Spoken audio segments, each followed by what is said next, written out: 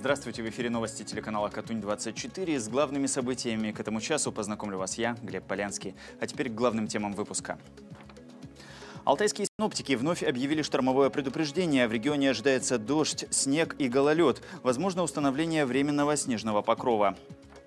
Алтайских изобретателей наградили в правительстве региона. Лауреатам губернаторской премии вручили почетные дипломы, нагрудные знаки и денежные вознаграждения. В театре драмы долгожданная премьера от главного режиссера. Первый спектакль, который Георгий Цнабеладзе ставит в новой должности.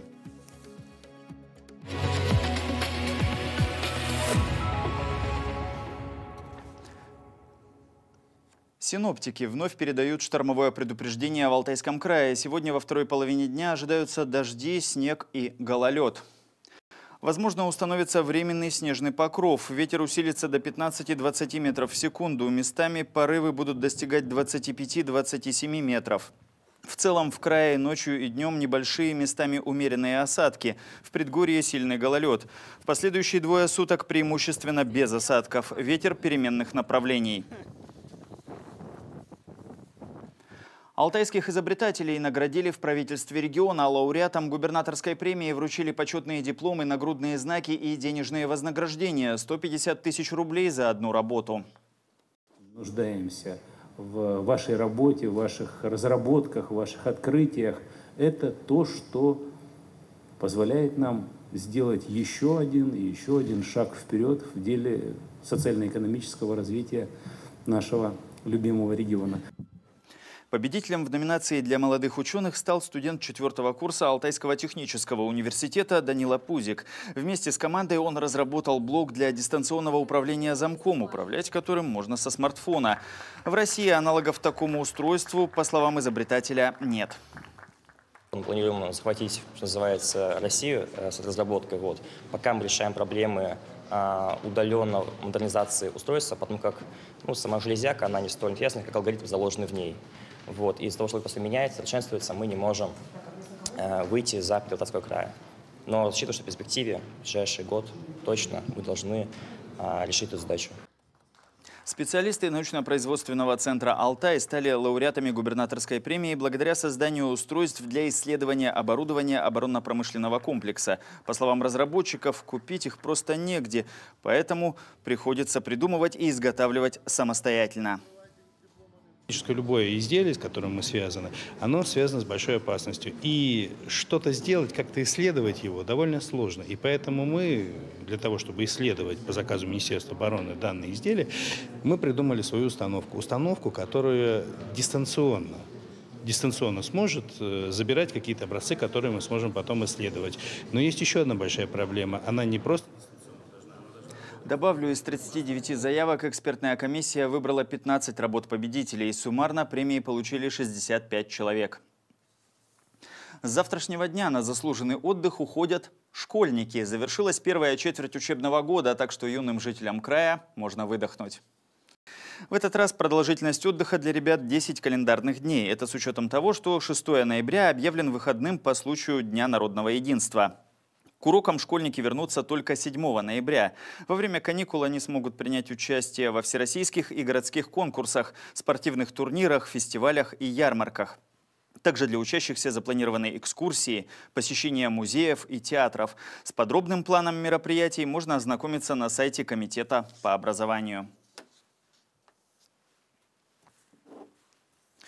А я хочу продолжить о занятиях на каникулах. 40 школьников со всего края станут участниками краевой профильной смены про профессии. Ее проведет Алтайский краевой детский экологический центр с 29 октября по 1 ноября.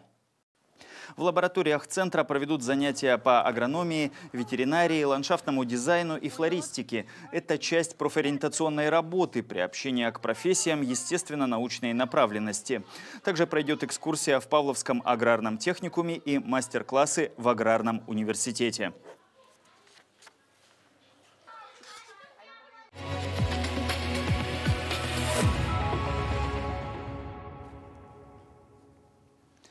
Во Дворце культуры Барнаула прошел открытый городской фестиваль творчества серебряного возраста в рамках месячника пожилого человека. В нем приняли участие горожане в возрасте 60+, ветераны, труженики тыла, общественные организации города и края, сообщает официальный сайт краевой столицы.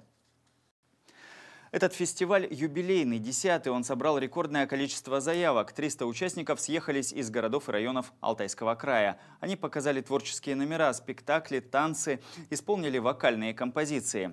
Барнаульцы серебряного возраста с удовольствием осваивают современные форматы на сцене. Еще летом начали готовиться к выступлению, придумывать и репетировать. Некоторые приносят изделия, изготовленные своими руками, экспонаты с необычной вышивкой и красивых кукол.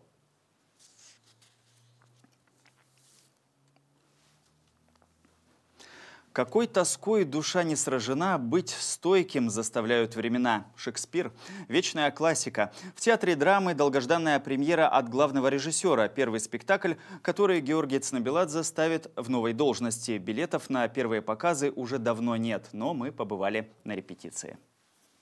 Ты дух, я знаю. А когда ты умерла? Еще он плохо. Он не вполне проснулся. Подождите. Серьезнее уже некуда. Роль короля Лира в новой постановке театра драмы по Шекспиру исполнит Георгий Обухов, народный артист России. Это подарок мастеру сцены на 85-летие. Георгий Тихонович безмерно благодарен театру за такое доверие. Для него это огромное событие. Любовь к профессии дала ему, как он сам рассказывает, и жизнь, и смысл жизни. Слишком большое и мощное что-то, и что надо преодолеть и чисто физически, и, а тут как раз еще и захвораешь, и все. Так что тут такая работа была не благодаря, а вопреки.